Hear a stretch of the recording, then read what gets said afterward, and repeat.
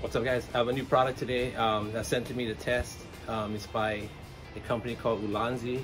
Product is UURig. Basically this is a magnetic um, filter ring adapter. Uh, attaches to your camera so you can attach uh, for you guys to shoot with uh, NDs and also CPLs. This is a perfect thing for you guys. I want to check it out. All right. All right, so I got this um, magnetic lens adapter um, to try out on my 72 millimeter lens. Uh, for you guys that are shooting with um, the CPLs or also the ND filters, this is gonna make a lot of difference. To you guys that don't, uh, maybe something to keep in the bag, but so basically it's a, it screws onto your, your lens, but it's a magnetic clip. separates like that, yeah? So it goes on like this. Okay, so I'm gonna adapt it to the lens and show you how it works.